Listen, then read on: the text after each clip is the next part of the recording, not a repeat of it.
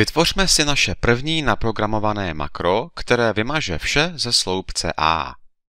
Přepneme se do programovacího prostředí pomocí klávesové kombinace Alt F11.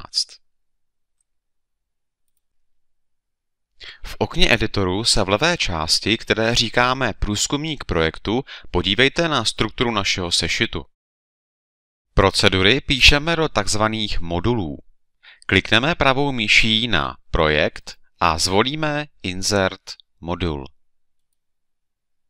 Jeho jméno můžeme přepsat v podokně Properties, které vidíme ve spodní části. Pokud jej nevidíte, aktivujte jej přes možnost View a Properties Window. Toto jméno modulu není nutné mazat, ale může vám pomoci, kdybychom tam měli modulů více, abyste věděli, co obsahuje.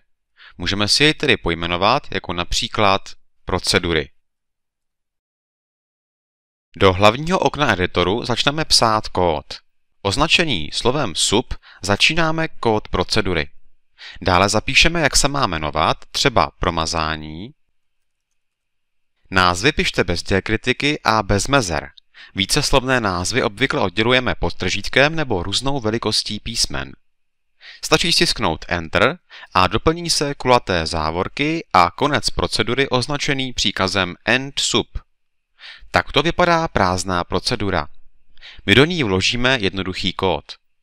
Obvykle se jednotlivé příkazy píší na samostatné řádky s odsazeným zleva pomocí klávesy tabulátor. Zapište příkaz range, kulatá závorka a do uvozovek označení sloupce A, konec uvozovek, konec závorky, tečka a příkaz clear. Příkaz range označí oblast, v závorce pak konkrétní adresu sloupce A v uvozovkách. S touto oblastí chceme vykonat příkaz promazání, tedy po tečce následuje metoda clear. Ke kódu je vhodné psát komentáře pro případ, že ho bude chtít pochopit někdo jiný, nebo si jeho význam budete chtít časem sami připomenout. Do komentářů píšeme, co procedura nebo daný příkaz znamená, tedy jakési vysvětlení, případně další poznámky. Stačí na začátku řádku napsat znak apostrof a poté znění komentáře. Všimněte si, že komentáře mají zelenou barvu písma. Nebo nejprve napíšeme text komentáře, poté jej označíme a využijeme ikonu, která slouží k zakomentování. Je potřeba mít aktivován příslušný panel nástrojů, který najdeme v nabídce View, Toolbars a jmenuje se Edit.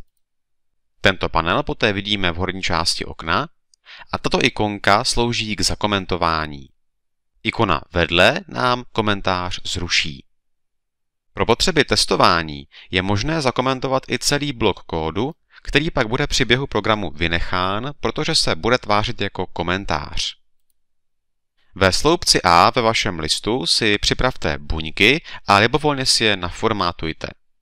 Naši proceduru spustíme buď klávesou F5, nebo tímto tlačítkem na horním panelu v editoru kódu.